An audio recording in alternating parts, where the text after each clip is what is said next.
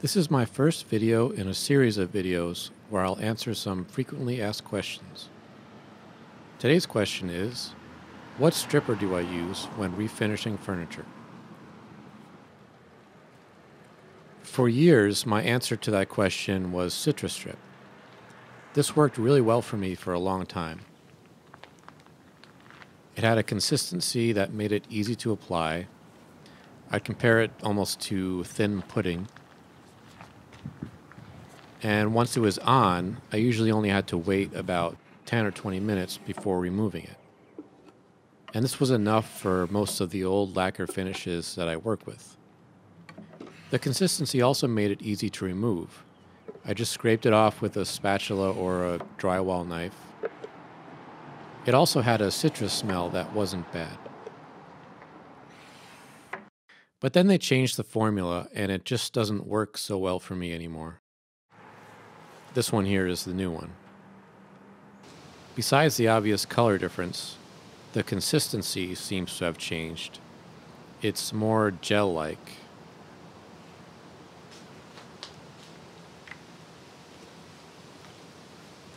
And it also seems stickier once it's been sitting on the surface for a while.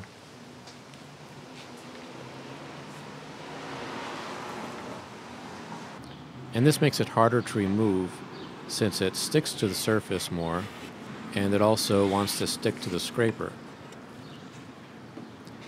I find that once I've scraped it off, I have to spend more time wiping the residue off than I used to with the old formula.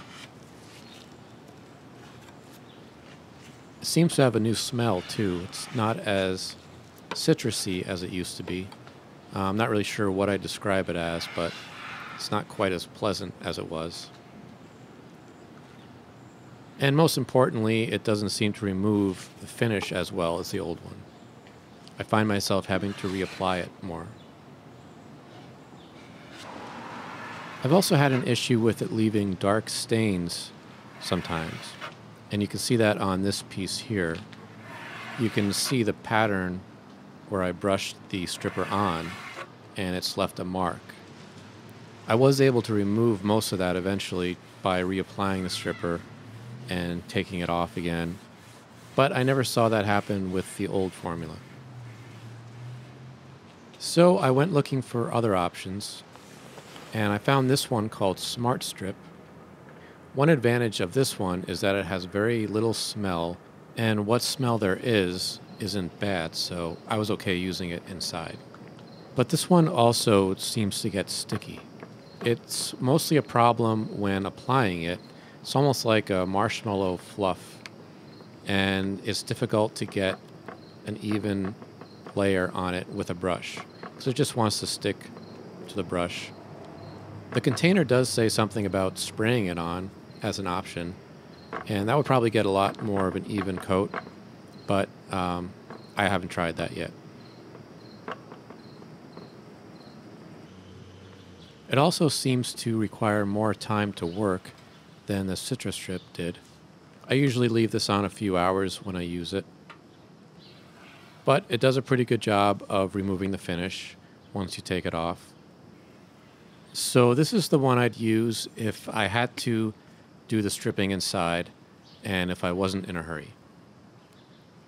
Another one I've tried is Klean-Strip Premium. This one is relatively easy to apply and to remove. The can says that it works in 15 minutes, and that does seem to be accurate. Although I did find that I had to apply it a couple of times to get all the finish off. This may have been because the temperature was only around 45 degrees outside when I was using it, so it may work better in warmer temperatures. The main drawback of this one is that it has a strong smell so I wouldn't use it indoors. So until I find something better, this is probably the stripper that I'll use the most as long as it's warm enough to use it outdoors.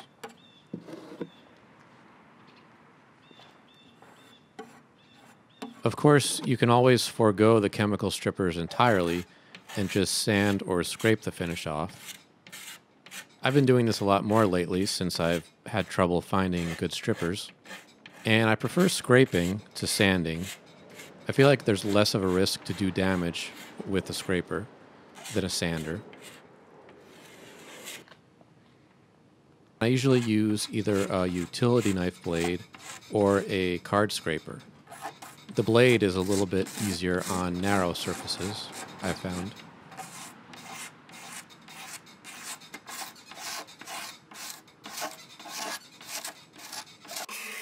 The card scraper also works great.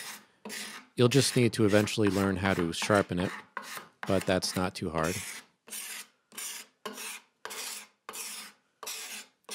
Scraping will be more difficult though on pieces that have carvings or some kind of um, basically anything but a flat surface.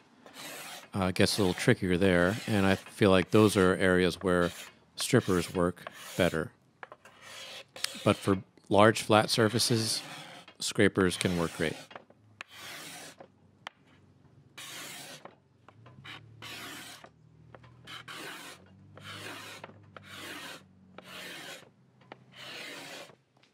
And then there's sanding.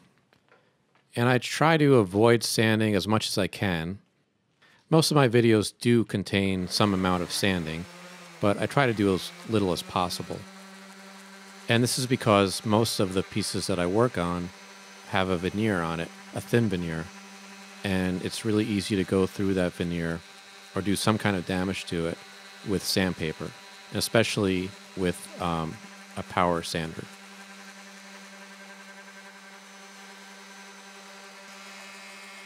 So if you are going to try and sand a finish off, just be very careful.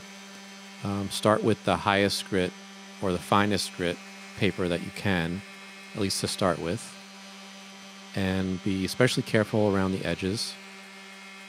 That's where it's easiest to sand through veneer. So there you go. That's where I currently stand on stripping and strippers. Keep in mind that what I said about the chemical strippers has just been my experience, and they may work better for you. Give them a try. It's possible that I wasn't using them entirely correctly. I haven't really had a lot of time to try out the three new ones uh, the new Citrus Strip, the Klean-Strip, and the Smart Strip. So it's possible that I just haven't gotten the process down yet. But give it a try and see how it works for you.